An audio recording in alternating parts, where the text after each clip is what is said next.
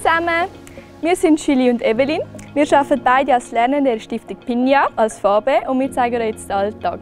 Kommt doch mit!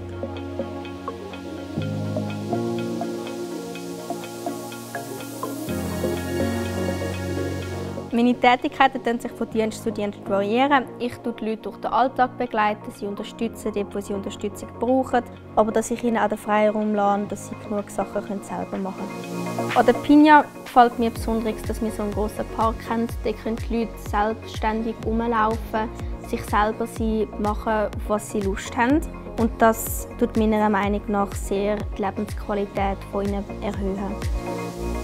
Schwierig ist als Lernende, dass man sich abgrenzen kann in Situationen, die einen beschäftigt oder dass man äh, die Sachen, die passiert sind, in den Weg lässt und nicht mit heimnimmt. Wenn du die Lehre machen willst, dann solltest du kontaktfreudig sein, offen, solltest Empathie haben, viel Geduld und auch die Freude am Begleiten. Ich würde die Lehre jedem empfehlen, der gerne mit Menschen zusammenarbeitet, gerne Menschen unterstützt und sie im Alltag begleitet. Wenn auch du das Gefühl hast, dass der Beruf etwas für dich wäre, bewirb dich heute noch.